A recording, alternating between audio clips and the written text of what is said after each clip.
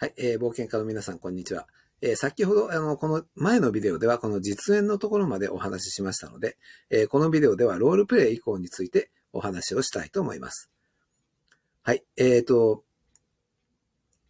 つまりですね、これはあの、相手のやりとりが必要な場合っていうことですね。えー、そういう、あの、そういう時は、教師の前で実演することができませんよね。で、え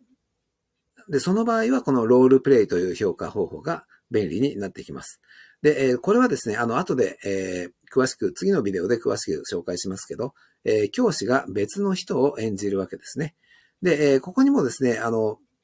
えっ、と、前のあ、何年か前のコースで出てきたあの CDS があるんですけど、えー、日本の中学校で教える英語の先生のための CDS です。あ今回のあのコースにもかなり似ている、えっ、と、コードリストを書いてきている人がいらっしゃいますね。はい。で、この場合ですね、えー、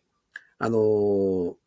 実演、学校の中で話しているところを実演してもらうわけにはちょっといかないので、えー、ロールプレイがいいわけです。で、えー、つまりテストをする人がその話し相手になるわけですね。で、えー、文系シラバスもですね、あの、ロールプレイでは、あの、学習者がですね、あの、別の人を演じることがありますけど、えー、でも、あの、行動中心アプローチの場合はですね、えー、学習者自身の行動を支援することが、その、そういう日本語学習ですから、えー、基本的にはですね、他の人を演じる必要はないです。えっと、文系シラバスでは他の人を演じるあの時がありますけど、あの、行動中心アプローチではそういうのはやめた方がいいですね。はい。それから、あの、えっ、と、実演とロールプレイっていうのをここに2つ書いてありますけど、これは共通する部分もとても多いので、特に厳密に区別する必要はないです。えー、ただ3番目のはこれはとても違いますね。えー、3番目は、あの、まあ、これもパフォーマンス評価ではあるんですけど、成果物を、えー、持ってくるわけですね。えー、例えばここにもあの、今2つありますね。えー、あらかじめ名前に振り仮名を振っておけば、血圧と体温を一覧に記入することができる。えー、それから、えっ、と、辞書を使うことができれば、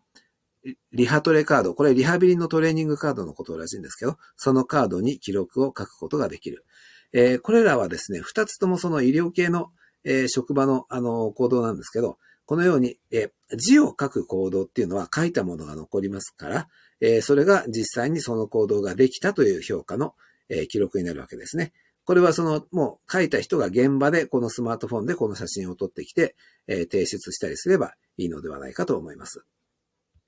はい。で、あの、これはもうとても大切なことなので何回も言いますし、あの、まあ前にも言ったこともありますし、これからも何回も同じことを言いますけど、えー、行動中心アプローチではですね、えー、知っているだけでは評価できないわけですね。えー、大切なのは実際にその行動ができるかどうかなわけです。えで、知っていることを評価するのではなくて、行動を評価するのが行動中心アプローチということになるわけですね。はい